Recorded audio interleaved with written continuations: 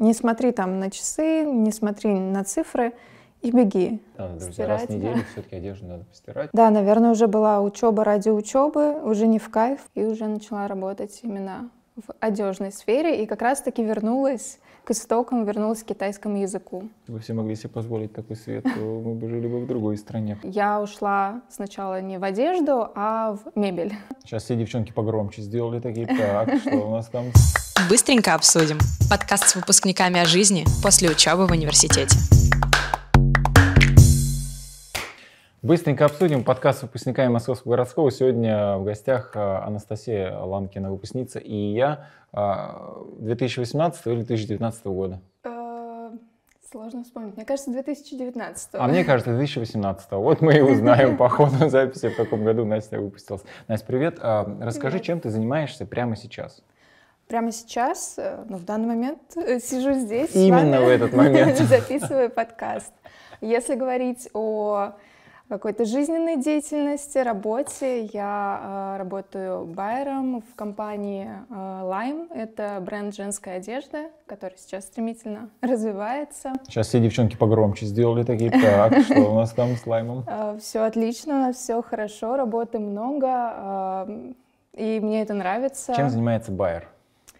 Я, А, я знаю английский язык немножко, поэтому я как-то вроде Ну, могу перевести. да, это глагол покупать. Goodbye, там Goodbye, да, ну да. Эм, Мы э, занимаемся, так как э, Lime сам отшивает одежду, соответственно, Мгм. байер контролирует не только закупку, он еще контролирует свою команду, которая работает над продуктом. У каждого байера там э, свой продукт, у меня, например, платье. И э, есть команда там дизайнеры, конструктора, технологи, которые Мгм. создают что-то. А после этого, да, Да, Какой-то да. вопрос. Я А. уже все про платье начал думать. про платье. Платье вообще шикарное, красивое. Девочки, приходите, мы стараемся для вас. внизу появится плашечка. Да-да-да, ссылочка там. Ам, А где отшивается все? Ну, в Китае по А большей как вообще все это части. происходит? То есть есть же какие-то тренды в моде, да? Вот есть какая-то модная там линия, цвета появляются. Да, да, да. И байер, по Это- сути, должен за этим следить. Ну, байер, да, и э, дизайнеры тоже следят за этим, создают какую-то концепцию на будущий сезон. Соответственно, это все планируется намного раньше, чем заходят магазины. И И вот они все отрисовали, это к тебе попадает, да? Ну, да, отрисовали, там, э, сконструировали, разложили на лекало. Это приходит ко мне, вот как платье там. И мне нужно выбрать, у кого я буду это шить, там, у кого я буду закупать, у кого лучшая цена, сторговать, там, э, с кем мне Мгм. понравится больше качество. И уже с этого момента довести до момента, когда это все приедет в магазин. Но ты не занимаешься документацией, закупками, вот этим всем. Ты как бы занимаешься содержанием. Нет, э, документами тоже занимаюсь, э, но... Договоры, вот это все. Нет, договора нет. Больше Слава вот- богу. Да, это как бы хорошо, но все равно э, такой рутинной э, работы достаточно много. Все-таки много каких-то корректировок приходит от дизайнеров. Там не нравится модель, не нравится посадка. Это тоже ты обсуждаешь, как это будет действовать э, на цену, как влиять будет. И нужно как бы не вылезти из рамок бюджета, при этом э, сохранить э, вот эту красоту, то, что мы хотим создать для наших девушек, покупательниц. Вот. И здесь нужно как-то искать компромиссы. А вот есть Мгм. такой известный треугольник, когда говорят про услуги, э, треугольник дешево, быстро и качественно. Вот если ты выбирала бы два, что бы ты выбрала? Ну, все А, три нельзя выбрать, можно только выбрать два. Дешево, быстро, качественно. Ну вот сейчас, мне кажется, я э, больше была бы за качество и за скорость, потому что, ну, так как мы на рынке, можно сказать, одни большие такие сейчас на русском рынке, поэтому хочется это все быстрее привести и при этом качественно. А По цене, на самом деле, можно где-то там договориться, уступить, но все равно, на самом деле, если продукт нравится, если он модный и классный, да, я там, ну, читаю периодически какие-то комментарии в пабликах, пишут, о, это слишком дорого, кто это купит, а потом захожу, там, смотрю продажи, и это покупают, потому что нравится. Мгм. Вот. Ну, давай раскроем главный секрет для всех девчонок, особенно, а, учитывая, что ты платьями занимаешься. То есть э, за тобой только платье. Скоро весна, скоро лето. А вот что будет модно весна, лето 23 года? Так, что будет модно? Ну, э, всякие юбки-баллоны такие, светлые тона. Извиняюсь. Я тоже выпью. За юбки, за юбки баллона. Да, за юбки, за платья такие воздушные, светлые. Будет бахрома М. модное. э, Такое яркое что-то, летящее. Ну, Цвета, надеюсь, цвета светлые. ну что-то светлое, немножко, да, с краплениями яркого. А есть какой-то главный цвет 23 года, вот, который пытаются сейчас уловить или уже уловили? Ну, пока что я не могу выделить какой-то вот один цвет. А вообще, если смотреть вот то, что продается, прям супер топ, это черный. Он всегда и летом, и зимой, и весной черный цвет, все его любят. И как-то у нас периодически бывает там споры, давайте не будем еще одно черное добавлять, давайте что-нибудь яркое, а потом Есть же мужские отделы, там пусть черный висит. Потом. Ну, Кстати, да, да. э, ты знаешь, почему так получается, что вот есть мужской отдел, есть женский. В Лайме есть же, да, мужской женский? мужской пока что нет. Нет, да. Ну и не будем это обсуждать, собственно. Зачем нам это надо, раз мужского нет. Но странно получается, что мужские отделы, они все такие темные, темные, мало ярких красок. мне кажется, бежевый там тоже бывает, нет? Ну, вообще есть вот у, у профессионалов, ты же работаешь профессионально в этой сфере, да, производства одежды, есть такая установка, что, типа, мужикам нужно меньше ассортимент, меньше цветов, они и так носят, э, не глядя, что они надевают, а у девчонкам нужен ассортимент побольше, ну, это всегда так, то есть смотришь Да, магазин, я да, согласна, а как да. так? С чего? Но Кто это придумал? э, не могу сказать, кто это придумал, потому что если смотреть вот на те же самые э, показы мод, то, что как раз вот было недавно в Париже, мужская неделя моды, там, ну, по цветам я бы сказала, что все достаточно сдержано, но формы, там мальчиков и в юбке одели, как это всегда бывает на показах мод, вот, а ну, в обычную жизнь переходит, видимо, практичность и то, что парни действительно не всегда заморачиваются на тему моды, им главное, там, чтобы можно было каждый день носить. А И- девчонки... И не снимать, Да. и не стирать. Ну нет, это, Да, конечно, Нет, стирать надо, друзья. Раз в стирать, неделю да. все-таки одежду надо постирать, а там уже ух. А, но это как, это, я вспомнил сцену из фильма, помнишь, «Дьявол носит Прада», знаменитая сцена, когда про цвет там возникла идея, и вот это... сколько раз ты смотрел? Я смотрела, конечно, Вы- вы, мне да. кажется, ну, раза три, наверное, четыре точно. Когда там возникла дискуссия об этом, о каком-то цвете, и вот эта вот практикантка, главная героиня, говорит, ну, какая разница, цвет. И объяснили, какая разница, что сейчас вот этот цвет появится там, да, потом он пойдет, пойдет, пойдет, пойдет, вы все его в магазинах будете покупать Да, да, да, на самом деле так и бывает. Иногда э, приходит какая-то идея супер срочно, там супер модно, нам это спускают э, сверху. Вот, девочки, делайте. И там у нас очень сжатые сроки, нужно придумать, у кого мы будем это реализовывать и быстро все произвести, при этом, чтобы по хорошей цене. Да, мода очень влияет на то, что А будет в вообще вот весна-лето, э, коллекция уже запущена в производство, Она да? уже заходит в А- магазин, Она, уже в магазины отшита, заходит, да. она уже отшита. Я очень часто хожу в магазины. Ну, меня спасает только то, что я не хожу в женские отделы, поэтому... А, Так, а, расскажи, как произошло так, что ты училась в ИЯ, расскажи, на кого ты училась, и как ты стала байером а, в магазине женской одежды. А, Как я пришла в ИЯ? Ну, э, вообще, это была как бы рекомендация с, со стороны близких э, к, ну, как к моей семье друзей, потому что они тоже учились э, в МГПУ. И мы были наслышаны э, с родителями, что это хороший университет, и Мгм. я У тебя пошла на курсы. учились в МГПУ? Да, А кто учился? Э, Ну, моя как бы тетя училась здесь на логопеда. Еще одна наша знакомая тоже семьи училась, э, тоже в этой сфере филологии и работала тоже в МГПУ Мгм. потом. Вот, и, в общем, я решила пойти на курсы, на курс английского в ИЯ, и мне там так понравилось. И там я, кстати, с Юлей Кривцовой познакомилась на этих курсах. Юлечка? Юля, привет! Мы и скинем ссылку прям по тайм-коду на это место, чтобы она точно посмотрела. Вот, и как-то не было никаких э, сомнений, что я поступлю куда-то еще. Ну, я подала как бы документы, но изначально решила, что мне нравится вы и я. Выбирала только между языками. Думала французский, ну или китайский. Ну, ты какой-нибудь из них знала хоть чуть-чуть? Э, Чуть-чуть французский знала, китайский не знала. Поэтому было достаточно интересно попробовать и решила пойти на китайский. Ну ты такой серьезный, видимо, человек волевой раз. Не знаю, ну, пойти на китайский язык с нуля, это прям... Ну, мне кажется, у нас большинство было таких. Вот, и как-то не было страха, и все получилось. Э, с первых там, курсов мне зашло. Уже через э, год я поехала на стажировку на полгода в Тайвань. Mm-hmm. На Тайвань, точнее, Тайвань это остров. Вот. А после э, на стажировку в Шанхай на год ездила. Две стажировки было? Да, ну, ну как-то так получилось, что действительно нравилось.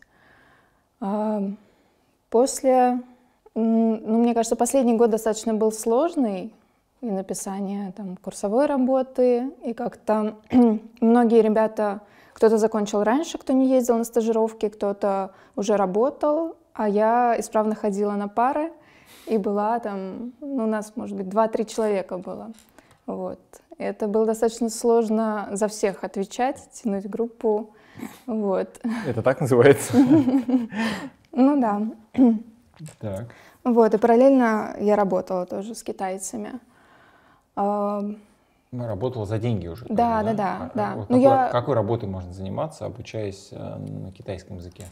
Ну, вообще, как бы стандартное это преподавание, репетитор, репетиторство. Я преподавала. Не скажу, что мне прям понравилось, что это было мое.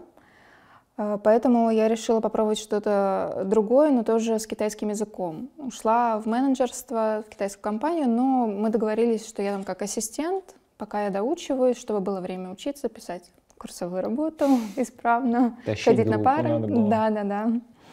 Вот. И э, после у меня на какое-то время ну, вот к китайскому языку было, мне кажется, отвращение. Я вот когда защитила там все ГОСы, сдала курсовую, мне не хотелось э, уже ехать в Китай в магистратуру, и я поступила в Москве. Mm, у тебя был план поехать да. в Китай в магистратуру, да, да? Да, я об этом думала. Мои одногруппники э, поступили удачно, но я как-то сомневалась, а потом пандемия началась. Угу. Вот, и уже как бы не было вариантов, поэтому я дальше училась в Москве. А, училась на менеджерской специальности, и после этого как раз, ну, специальность была связана с работой в ритейле, с продажами, и получается, диссертацию нужно было писать вот на такую какую-то смежную тему, которая связана с менеджерством, руководством компаний, э, вот. Но я ушла сначала не в одежду, а в мебель. Вот, и работала, ну, тоже в закупках, угу. тоже с поставщиками, но не с китайскими.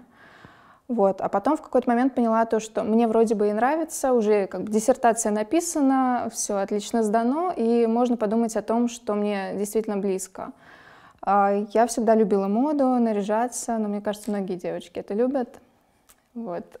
И... В мебель не нарядишься, конечно. Да, мебель это так, конечно. Немножко... Но ты специалист мебели, я так понимаю, еще. Ну, ну немножко. разбираешься. Чуть-чуть. Ну, можешь посмотреть на диван, сказать, вот, вот посмотри на наш диван, как он. Его никто не видит, поэтому можно сказать, что классный а, диван или наоборот. Ну, ну неплохой диван. Неплохой? Но я, правда, больше по коврам и свету была. Так, ну здесь вот. я тебе ничего не помогу. Может ну, быть, здесь где-то есть ковер. Свет ну, вот у вас э, неплохой, неоновые такие Ну, такой бы, конечно, домой бы, если бы все могли себе позволить такой свет, то мы бы жили бы в другой стране. Так? Да, вот, и поняла то, что работаю, в целом я неплохо разбираюсь уже, но вот именно сфера меня не вдохновляет, нет какого-то драйва, не хочется там задерживаться на работе, как-то дальше продвигаться.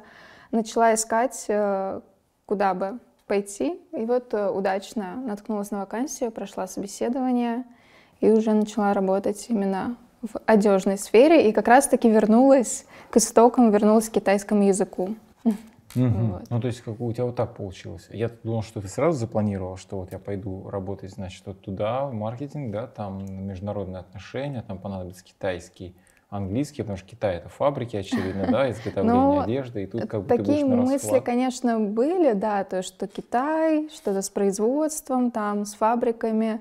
Но, если честно, мне кажется, когда выходишь после бакалавриата, с такой достаточно филологической специальностью, ты вообще не понимаешь, кто ты. Ты вроде бы и не переводчик, потому что тебе не дали там корочка, что ты переводчик, и вроде бы и не преподаватель, а ты вот что-то между, ты знаешь язык, но хочется такое вот, э, чтобы еще было, ну, был какой-то навык. Поэтому я рекомендую тем, кто занимается, ну, учится на бакалавриате, э, связанном с языком, пойти, ну, искать себя параллельно в работе, может быть, уже, где ты будешь получать реальные навыки, работать с какими-то проектами, что тебе интересно, и туда как раз-таки применять язык. Вот а это. не переводчик, потому что, ну, грубо говоря, это другая профессия, и не а... хватало как бы, ну, скорости, там же нужно тоже обладать Нет, ну, как да, бы в целом ты можешь пойти переводить, э, если ты там параллельно практиковал это, но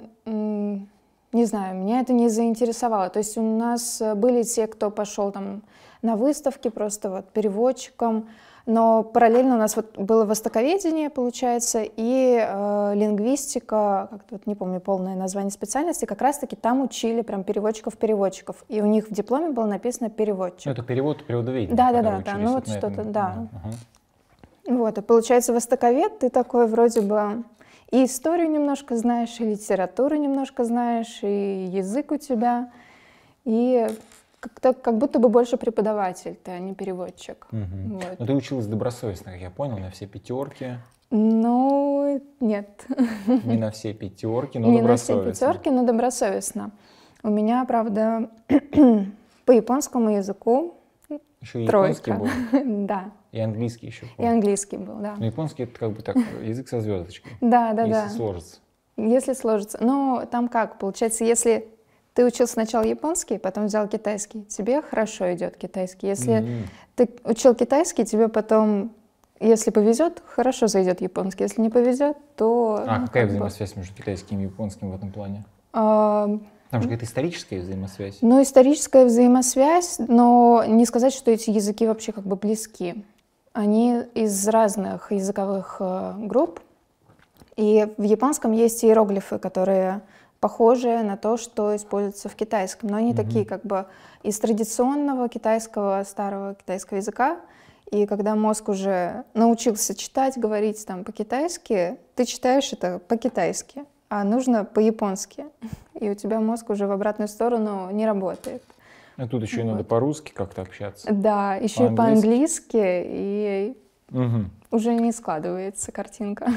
Окей, ну вот просто у меня какая мысль в голове, когда ты рассказывала, что ты тащила всю группу, есть такая история, да, синдром отличника уже есть, когда учишься в университете, и в какой-то момент ты, это может быть связано еще со школьным этапом, когда человек mm-hmm. учится на все пятерки, и ты приходишь в университет, и у тебя цель а, в голове такая, а если на тобой еще какое-то давление есть, там, дома, ну, преподаватель, и ты вдруг начинаешь, да. учеба становится ради учебы, то есть ты забываешь, для чего ты вообще да, учишься. Да, да, да, мне Надо... кажется, у меня вот такое было как раз-таки на последних вот месяцах э, четвертого там, ну это у меня был, получается, пятый курс, потому что я год еще в Китае была. Да, наверное, уже была учеба ради учебы, уже не в кайф, потому что там был там политический перевод, и ты просто всю ночь это Политический? Учишь. Да, политперевод, а. да. И это уже не в кайф. Политический ты... перевод это про что? Ну, это... Конституцию переводить? Ну, что-то типа того, да. А, что-то типа того. Тексты. Законы, такие тексты, э, таким именно сухим языком, которые новости пишут, угу. и ты вот переводишь. Вот как э, на разных э, мероприятиях официальных есть переводчики, вот угу. ты что-то такое угу. исполняешь, пытаешься. И, ну, уже как будто нет жизни в языке, потому что язык э, мне mm-hmm. кажется, хочется использовать больше такой современный. А, если ты идешь в переводческую деятельность не такую официальную, то там немножко другое нужно. Угу. У тебя было две стажировки? Да. А, с какими главными инсайтами ты вернулась в Москву после этих стажировок? То есть ты учила китайский, учила, угу. учила, учила. Ты, у тебя была одна картина мира, но ты уехала туда, там пожила, поразговаривала, поучилась там, вернулась и поняла, что вау. То есть вот что-то, что, какие инсайты главные? Хм, интересно. Даже как-то... Ну вот... Ну, просто ну, как в Ярославль съездить, э, или все-таки как бы ты приехал, ты, а, это вот так оказывается, я не знала, а я и не думала. Может, про китайцев, про самих, да, про жителей. Про, ну, Тайвань это вообще отдельная история. Да, да, да. Ну, Ну, в целом, да, ты как бы окунаешься в реальную жизнь, в языковую среду. Вот после Тайваня я тогда ну, как бы на втором курсе только была еще достаточно молодая, вот, и ты сразу тебя бросают туда, и нужно решать какие-то вопросы, а, разговаривать на языке. Это достаточно бывает сложно, а, потому что китайский язык, там очень важна тональность, и тебя не сразу понимают, то есть у тебя очень сильный акцент.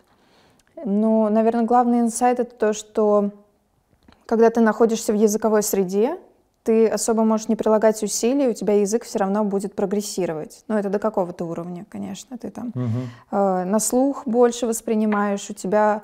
Э, ну, бывает такое, то, что мы там забирали доставку по телефону, тебе звонит китаец, ты отвечаешь, у тебя уже хороший такой акцент, выходишь ты, европейка, и он такой, о, ты не китаянка, mm. вот. Это было, конечно, прикольно. И когда ты возвращаешься, если ты не практикуешь в такой же степени язык, то ты откатываешься назад, очень быстро откатываешься. Вот. Это, наверное, да, было самое классное в э, стажировке.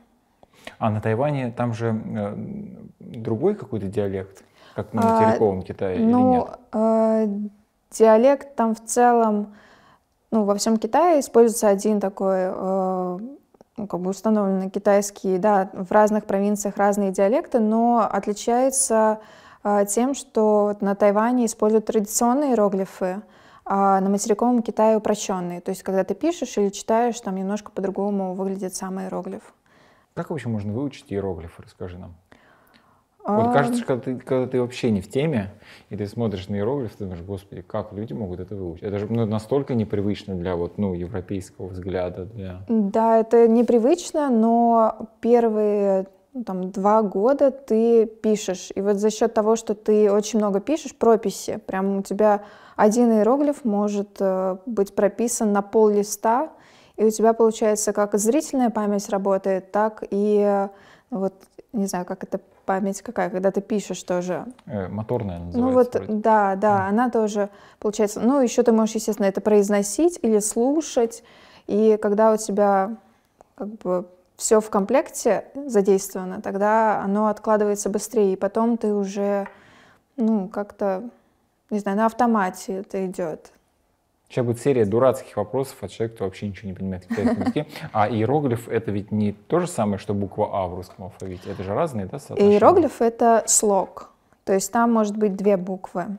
Угу. Ну, например, слово «мама», оно состоит из двух иероглифов. То есть два слога «ма». Они одинаково. Они складываются. Пишут да, одинаково. они одинаково пишутся. Идеальная да. картина. Ну, это идеальное, да, слово. А так э, одно слово может состоять там от двух до там, множества иероглифов. Соответственно, комбинация букв, она дает разную картинку иероглифа, да, визуально? Да, да, да. Ну, вообще есть э, там определенное количество слогов, то есть там они не бесконечные. Ты их тоже в самом начале учишь, ну, как алфавит, получается, есть тоже угу. определенное произношение, вот э, связки вот этих слогов, и потом они у тебя складываются в единую картину. Ну, я так представляю, вот, наверное, русский алфавит, там 33 буквы, то есть в, в, рус, ну, вот в русском языке слогов больше, очевидно, да, комбинаций вот этих? Mm. Ну, то есть невозможно же назвать так по памяти все слова? Ну, мне кажется, да, как будто бы больше возможно. Но это вот интересный вопрос. Исследованием попахивает научно. Ну все, дурацкие вопросы закончились. А, окей, а, иначе ты начала заниматься одеждой. А, а вообще как ты, ты почувствовала, что специалисты со знанием китайского языка не востребованы? Или ты тоже проходила собеседование, ты пон... или все зависит от зарплаты, на которую ты претендуешь? А... Мне почему-то кажется, что если ты знаешь китайский язык, ты как бы ну, нормально быстро найдешь работу.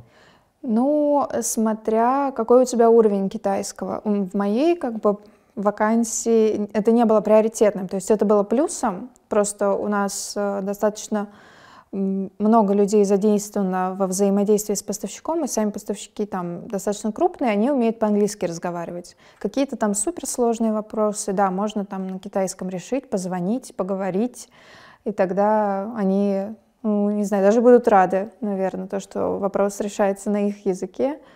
Вот. А, но есть какие-то определенные, да, вакансии, где именно китайский в приоритете.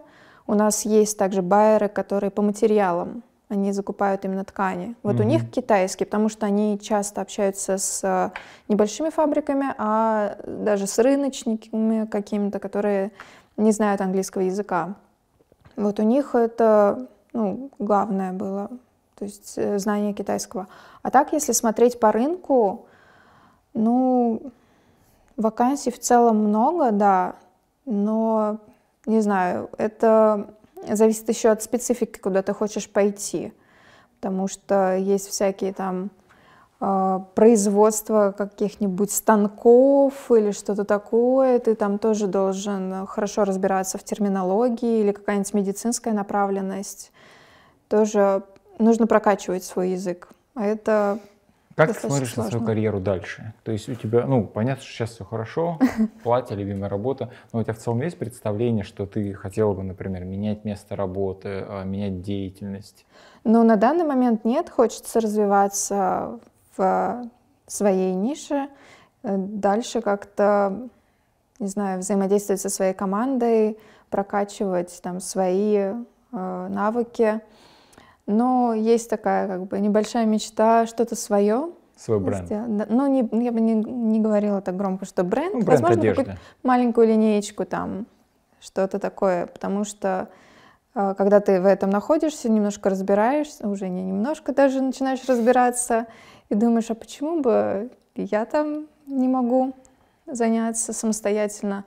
Но на самом деле я все больше и больше в это погружаюсь и понимаю то, что там нужно собрать тоже отдельно свою команду. То есть один — это достаточно сложно будет все реализовывать. Но, возможно, в будущем. Ну, это вроде бы естественный такой ход жизни. Ну да. Поработал, посмотрел, понял, Да. что я тоже так могу, и создаешь свое дело. Ну да. Окей, а, ну, значит, о будущем не говорим, тем более мы назвали текущее твое место работы, как странно будет, да, рассказывать, ну, у меня в планах уволиться. Ну, Планов таких нет, это классно. А, Расскажи, чем ты еще занимаешься, помимо того, что ты вот работаешь байером и э, варишься вот в мире моды и одежды. Ну, я еще занимаюсь спортом, занимаюсь бегом, э, бегаю на регулярной основе. Ну как, немножко из-за травмы я выпала на пару месяцев, но сейчас планирую возвращаться. Э, Бегаю с тренером по плану, и ну, это такая как бы для меня уже рутина, но для тех, кто там, не знаю, следит за мной там в Инстаграме, все пишут, вау, как классно, там, потому что летом, весной я встаю в 5 утра, куда-то бегу, и это почти каждый день. Но для меня это уже как часть, А ты еще стримишь, да, Меня. это параллельно? ну, не, не стримлю, просто там в сторис выставляю, то, что, ой, я побегала, вот, Мгм. рассказываю. Ну, это классная, кстати, такая пропаганда здорового образа жизни. Многие, ну, медийные такие всемирно известные личности, если на них подписываться в соцсетях, они же часто тоже в сторис выкладывают, как они бегут, просто бегут. Ну, их поклонники смотрят, такие, ну, я тоже должен бегать, значит, это классно. Вот, ну, да, я могу здесь проагитировать, э, может быть, кто-то заинтересуется. Я бегаю еще с э, э, командой, возможно, там, многие знают бренд здорового питания Byte. Мгм. Вот. И есть команда беговая, которая в скором времени для всех будет открыта. По четвергам в Лужниках можно будет приходить, бегать. А, Ну, это просто интересно пообщаться с такими же людьми, которые заинтересованы там, в здоровом образе жизни. На самом деле, когда ты начинаешь вот регулярно бегать, ты в какой-то момент подсаживаешься на эти эмоции, на дофамин, который после тренировки получаешь. И ты уже такой помешанный на беге, обсуждаешь там часы, кроссовки, забеги ближайшие, сколько ты планируешь пробежать э, в этом сезоне, на какое время. Вот, это затягивает. Мгм. Это Ну, то есть культура возникает Да, да, этого. вообще беговое сообщество очень классное у нас в Москве. И ну, все открыты, все общаются между собой. Сейчас очень много там кафешек устраивают какие-то тоже беговые мероприятия. Тот же самый Rebellion по воскресеньям, там длительные пробежки устраивает. Это классно, можно собраться, пообщаться. Мгм. Я ну, как бы не знаю, почему в МГПУ еще нет бегового сообщества. Создавайте беговую. А, вопрос. Я буду специально задавать дурацкие вопросы Да. сегодня. А, вообще вот эта история про бег, а, она, ну, понятна с точки зрения здорового образа жизни, да? А в целом вот сам бег, он что дает? Ну, понятно, что человек бегает, физическая форма хорошая. Надо же утром бегать. Ну нет, обычный почему? человек Вечером думает- тоже можно бегать. После работы, Да.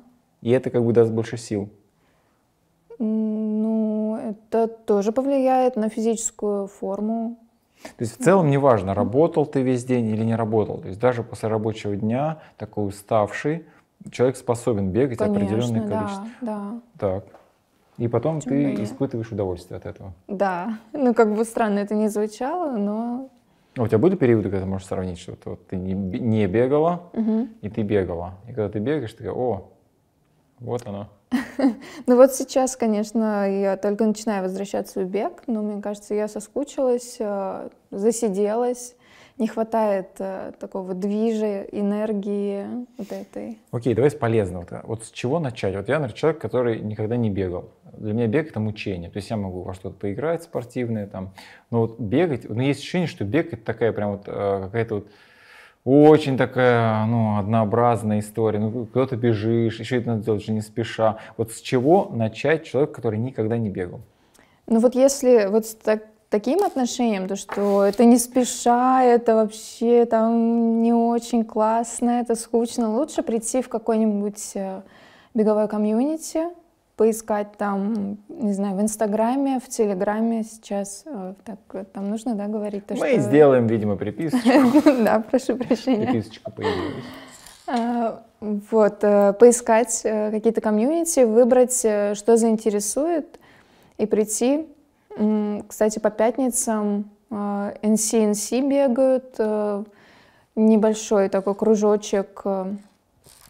На Добрынинской вроде бы они бегают, вот там веселые ребята, они после могут потусить, даже, может быть, выпить, потанцевать. Вот, может быть, такой бег зайдет.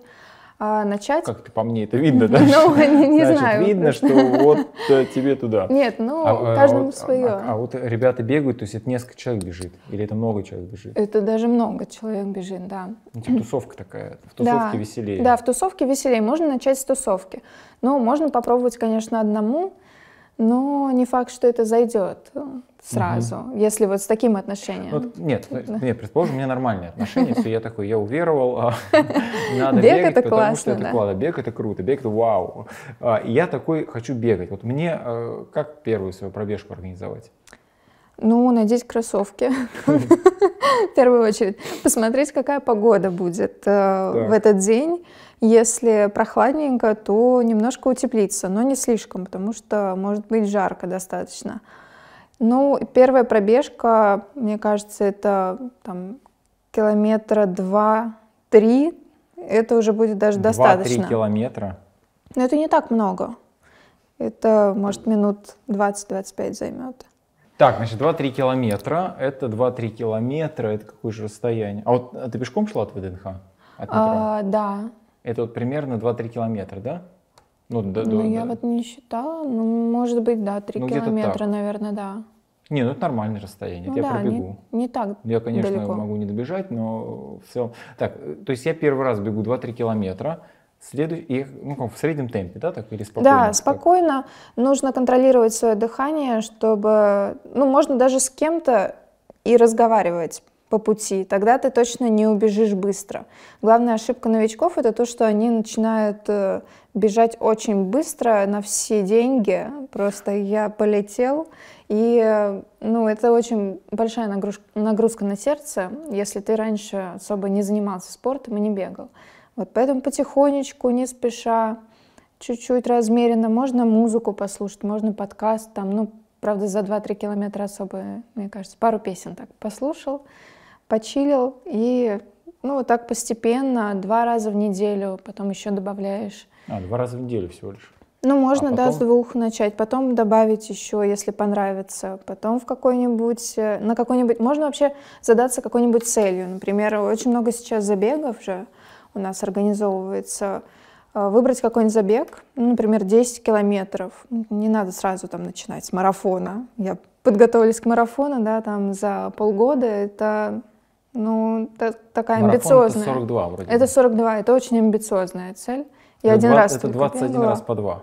Да, Ну, то есть да. от ВДНХ до МГПУ Даже представить себе сложно. Ну, нет, это, это скучно так бегать. Хотя Очень. есть люди, которые там 24 часа бегают, э, там по 100 километров бегают, то есть... 100 километров бегают? Да, да, есть такие у меня знакомые по 100 километров. Ну, им в кайф. Но я больше люблю там 10 километров или 21, чтобы выложиться на время, Угу.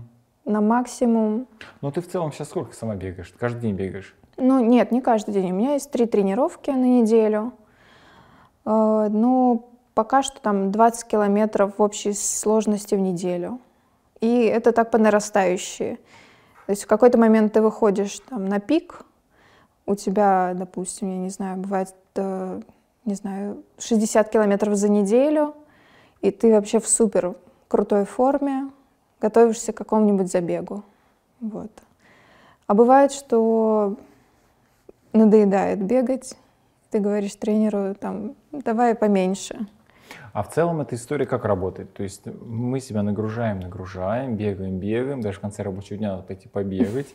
И когда, например, наступит какой-то день X, очень сложный, такой тяжкий день, где ты работаешь с 9 утра до 9 вечера, то ты его лучше переживешь, просто что ты физически Конечно, да? да, конечно. Вообще любая вот такая нервная нагрузка какая-то, мыслительная, умственная работа, это тоже тренировка. Это тоже нужно учитывать. И восстановление — это самое важное в результате, который ты хочешь достичь. То есть нужно не только тренироваться, нужно и качественно отдыхать, спать, там, хорошо питаться и так далее. Ну, я, конечно, вы- выключу простого дурачка сейчас. На самом деле, когда даже ходишь, когда даже ходишь, а, если пройти минут 15-20, так хорошо идешь, идешь, идешь, даже как-то мозги на место встают. Да, да. Есть такое при беге, да, тоже? Да, ну, для некоторых это ну, бег как медитация. У меня тоже бывает такое, то, что там, у меня нет запланированной тренировки, у меня был какой-то сложный день, я не могу решить какую-то задачу, я просто выхожу чуть-чуть побегать. Не говорю тренеру. Да, молчу, потому что там лишние километры, это потом скажется на восстановлении. Но я так проветриваю голову. Ну, бег с тренером это вообще прям серьезно. Но это не сказать, что серьезно, но скорее всего это помогает быстрее достичь какого-то результата и безопаснее.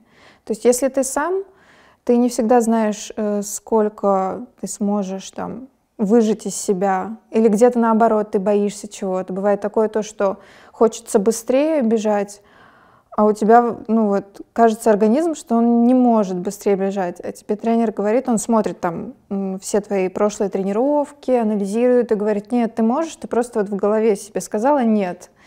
И поэтому не двигаешься дальше. Просто вот отпусти ситуацию, не смотри там на часы, не смотри на цифры и беги. И вот как, какая-то поддержка чувствуется. И тогда ты действительно выкладываешься. Ну, круто. Расскажи, что еще в твоей жизни есть интересного. Значит, ты бегаешь. Бегаю, много работаю, но хожу на какие-то выставки, мероприятия, общаюсь. Э, По большей части, вот, мне кажется, общение завязывается все-таки на беге, на вот этом комьюнити, потому что э, бегун бегуна видит издалека. Мы там смотрим на кроссовки, такие, о, ты бегаешь там, или часы увидели, о, ты бегаешь, и все. И обсуждение там на много часов, потому что даже в путешествиях куда-то там я еду, все равно все сводится там к спорту, к бегу. Ну, короче, бег из такого узкопонимаемого средства достижения здорового образа жизни становится образом жизни. Да, да, да, деле? да. Ну и бывает такое часто сейчас, что после бега все переходят в триатлон, хочется чего-то большего, хочется там попробовать себя. И Это когда плаваешь. это плаваешь, ездишь на велосипед. велосипеде, да, и бежишь еще. Да, да, да. Вот. Это У нас классно. один из директоров нашего э, института, вот спортивного института, Александр Страдзе, он Iron Man. Да, да, да. Самый, да, да, да. Он Это круто. всегда в числе победителей в своем возрастной категории, в своей, да. Там Ну. какие-то цифры заоблачные, там, значит, бегает, километры плыть, велосипед. Там, когда складываешь все эти километры, господи, я столько в своей жизни не находил. А тут человек это за один день все делает. Невероятно. Да, но это круто. Я бы когда-нибудь хотела бы попробовать, но у меня как бы проседает плавание. Я вообще Надо уметь боюсь. плавать, да. Да, боюсь глубины, боюсь вот этого всего. А велосипед, ну, это попроще. Мгм. Периодически вот катаюсь тоже. Да. О, да. Скажи, пожалуйста, а чем еще занимаешься? Вот, а, какие еще есть интересные направления? А, Может быть, вспомним опять же университет. А Были ли у тебя какие-то, например, а, кроме учебы, увлечения в университете? Чем ты занималась? Ты вот про Юлю Крысову вспомнил, может быть, Да, конечно, мы А, танцевали. Мы как бы вместе начали э, Runaway. А, танцевальная команда команда, такая да, была, танцевальная команда. Юля как бы подхватила вот эту инициативу. Я тоже была в- как бы в первом составе. Э, Было классно. Мне прям очень нравилась эта деятельность э, вне учебы. Я постоянно каждой там перемене летела на минус первый этаж, чтобы порепетировать. А, Но, к сожалению, э, мне кажется, я ну, не добрала чего-то из э, вот этой деятельности, потому что ну, китайский язык, он все-таки обязывал учиться достаточно много и присутствовать на парах, хотя хотелось там и поорганизовывать какие-нибудь э, мероприятия. Жалею то, что не попала ни разу в ШСА, хотя была наслышана. Этой осенью, кстати, будет ШСА, говорят. может. Можно, да. Возьму отпуск, съезжу. А ты это как чувствуешь? Тебе просто а, как бы вот это неприятно в том, ну, неприятно вспоминать, что ты не попала просто потому что, ну, как бы хотелось вот этой тусовки, или ты понимаешь, что какие-то вот навыки не сформировались, или ты чего-то вот могла бы получить такого секретного там, что кто-то получил, а ты Ну, нет. Не могу сказать, что что-то секретное там бы я получила. Наверное, людей, какую-то вот эту атмосферу, вот эти тусовки, какие-то воспоминания, потому что когда ты смотришь на ребят э, вот э, на той же встрече выпускников, а, когда мы вспоминали Мгм. и танец танцевали, там и все вот это вспоминали, ты видишь вот, э, вот эти улыбки и ну, как понимаешь вот это чувство, когда ты был там, ты участвовал, это было так классно, тебе есть что вспомнить. Вот это, наверное. Ты была на этой встрече выпускников, да, которые Да, выпускники да. внеучебка, да? Да. А, кстати, как, как, как, как, у тебя вообще мнение, так честно спрашиваю, вот по поводу вот этого вообще проекта Ассоциации выпускников, вот тебе как выпускнице, а, вот ты, ну, подкаст ты отозвалась, да, тебе интересно записаться. Как ты думаешь, какие вообще проекты могли бы быть у выпускников с университетом, ну, чтобы выпускники сами искренне возвращались в эту историю и продолжали быть в университете? Ну, мне кажется, было бы круто устраивать какие-то мероприятия типа public talks, э, когда выпускники делятся непосредственно с учащимися э, своими навыками, которые они там приобрели в жизни, в работе. Ну, как, не знаю, какие-то то есть, грубо говоря, собрать выпускников а, кафедры китайского языка, да? Ну, можно не И- только китайского, можно в целом всех. э, Не знаю, допустим, э, дать выбор учащимся проголосовать, э, Мгм. что они хотели бы услышать, что им было бы интересно, полезно, какие там э, навыки они хотели бы, не знаю, улучшить. э, И пригласить вот ребят, которые могут это дать. Мгм. Мне кажется, это было бы прикольно. Или, ну вот, даже, может, в проектной деятельности это реализовать, потому что я ну, в магистратуре училась э, в высшей школе экономики, и там было круто то, что очень много проектов было. И преподаватели были реальные владельцы бизнеса или топ-менеджеры. Было бы круто сделать тоже такое вот с выпускниками. То есть по возможно. сравнению с бакалавриатом она такая была более практика Да, да, ориентированная, да, чем да. теоретически. Ну, Да. китайский язык там надо учить. Ну, тут. я согласна, да. Там как бы много практики не добавишь в А тебе самой было бы это интересно делать, да, как выпускница? Мне было бы интересно, да, что-то дать э, практического, потому что, ну, не всегда э, в потоке вот э, тех филологических знаний ты можешь ухватить именно практики, какой-то реализации.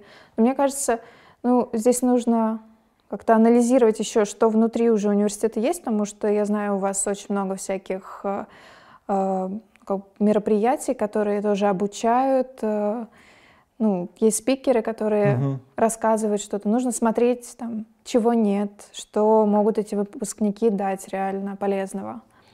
Вот. Ну, просто это кажется такой простой историей, да, позвать выпускников, а, посадить их перед студентами, чтобы они рассказывали. Ну, рассказывали, но нужно, мне кажется, еще какую-то реализацию дать, чтобы Мгм. эти э, знания, они остались. Не, я без Вот. критики говорю Не, не, простой, нет, я- то есть ну, да, все гениально понимаю. просто, да, как Да. известно. Да, это классно. Здесь же еще такая заложенная история, что они же студенты сейчас сидят э, с такой а, ожидания, а Мгм. выпускники как бы уже в другой стадии реальности, да, и выпускник точно себя помнит вот на этом месте, Мгм. типа, это- ты же помнишь себя, да, с каким Да, ожиданием да. ты училась, и ну вот ты сейчас рассказываешь свою историю, и как бы она, ну, по-другому же сложилась, или ты так прогнозировала? Нет, конечно, не прогнозировала. То Ну, есть, почти все ну, так отвечают. То есть все выпускники, кто уже работает, там, сколько ты уже, если ты закончил в 18 то есть уже почти 5 лет прошло, или в 19 мы выясним когда-нибудь. Ты вернешься домой, откроешь свой диплом. Так, все-таки когда это было? Да, это классно. А вот если бы ты сейчас бы сидела перед студентами а, и могла бы им там дать несколько советов, типа, ребята, вот это вообще ни в коем случае не делайте, когда вы учитесь. Вот ты бы им что сказала? Хотя бы одно М. правило какое-то такое. Мне кажется, я бы посоветовала немножко задвигать учебу, именно Правильно. оценки, и больше идти в практику, в какие-то проекты, даже во внеучебку, или искать какую-то работу, подработку. Да, не полностью забивать на учебу, ходить на пары все-таки, что-то слушать, потому что средний балл, вот лично мне, он э, ну, дал потом возможность поступить в хорошую магистратуру. Здесь как бы плюс был, но гнаться за оценками вообще не Средний стоит. балл диплома. Да, То есть, средний когда в балл вышку диплома. поступала, они Да, смотрели твой Да, диплом. они смотрели мой диплом, смотрели мое портфолио, Мгм. да, и ну, решение кейса практическое там нужно было.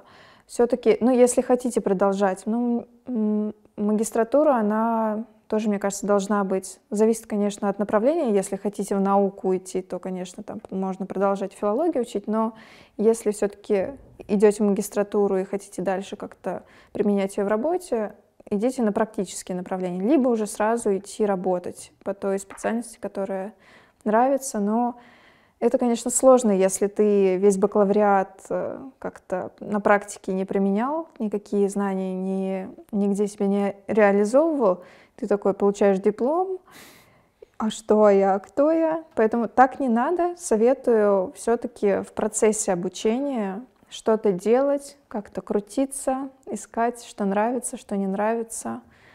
Мне кажется, когда ты молодой, меньше хочется спать, как будто больше энергии. Поэтому должно. Ну, это известная тема, когда человек Да. жалуется, что у него времени ни на что не хватает, потом ему говорят, слушай, тут надо работы сделать, и дают ему три раза больше работы, он такой раз и ее успевает делать, и потом опять... И это становится нормой, и потом опять Да, понимает, да, что у него да, времени, да. и ему еще работы. на- Ну, это как такой типичный сотрудник на работе, да, который говорит, что вот, Ну у вот меня не даже- хватает времени. Даже я сейчас смотрю на то, что я учил, ну, работала полный день и училась в магистратуре, писала там диссертацию, не понимаю сейчас, вот не учась, как я вообще это успевала. Поэтому, если захотеть, то в целом можно все уместить. Главное — желание, главное, чтобы нравилось то, что ты делаешь. То есть твой главный совет такой, когда вы учитесь, подумайте о том, я так, может, переф- сильно перефразирую твою мысль, когда вы учитесь, подумайте, о- подумайте о том, а что вы будете делать, получив диплом. Ну, Потому что как бы диплом вроде цель, да, да. а цель достиг, а дальше ты что ты будешь делать с своим дипломом? Да, мне кажется, вот нужно на несколько шагов вперед продумывать и ну, хвататься за любую возможность, которая там подвернется в плане каких-то действий, какой-то работы, может быть, я не знаю, э, сейчас модно организовывать всякие съемки или что-то еще, попробовать себя там. Или, не знаю, если ты учишься на лингвиста, ходить э, там в выходные, переводить что-то. Ну вот как-то так. Мне кажется, придумали прям классный проект. Ты придумал, а я его у тебя украду. Ну и плюс беговое сообщество, это вообще класс, просто можно вкинуть Побежали. На самом деле есть какая-то история про беговое сообщество вот в нашем институте естествознания, спортивного технологии. Оно просто не так, ну, грубо говоря, беговое сообщество это не такой бренд, как Шисава в ГПУ, да? То есть вот Шиса это а, а беговое сообщество, ну окей, есть люди, которые бегают, но из этого не получается какой-то такой фана не хватает, потому что это делают профессионалы, спортсмены, для Ну спортсменов да. это вырежем. И- а они не понимают, что нужно делать не про бег историю, а про сообщество, они комьюнити не создают. Да, вот именно комьюнити, вот это самое ценное. Мне кажется, ШСА — это тоже как раз-таки... история про тусовку. Да, про тусовку. И вот бег тоже, ну, для меня сейчас, это как раз-таки тоже тусовка, где люди, которые э, какими-то своими интересами делятся, общаются, и плюс как бы здоровый образ жизни. Мгм. Вот. Ну, это когда они едут в ШСА за эмоциями, за тусовку, Да. а им там еще пять дней подряд материал наваливают, они такие, господи, еще и это здесь есть. Ну, не- не- и поэтому возвращаются потом такие окрыленные, потому что это, Мгм. ну, эмоционально, и же то же самое, ты Да, получаешь как да. полезную историю, а еще и знакомство, общение. Да, а когда профессионал это делает, ну, это, кстати, это, возможно, это вообще чисто университетская история, академическая, потому что университет же такой, он тормозной в этом плане, но очень медленный, как Мгм. институт, да, то есть вот когда приходят, наверное, люди из продаж в университеты работать, они же через месяц увольняются, потому что они как бы, Да. ну, ну, тяжело, потому что, ну, маркетинг, он же быстрый такой, там, Мгм. чик-чик, Да, пиарщики, да, да, да. маркетологи, они же такие четкие, а тут все как преподаватели, профессор, и как будто бух, все, и люди уходят.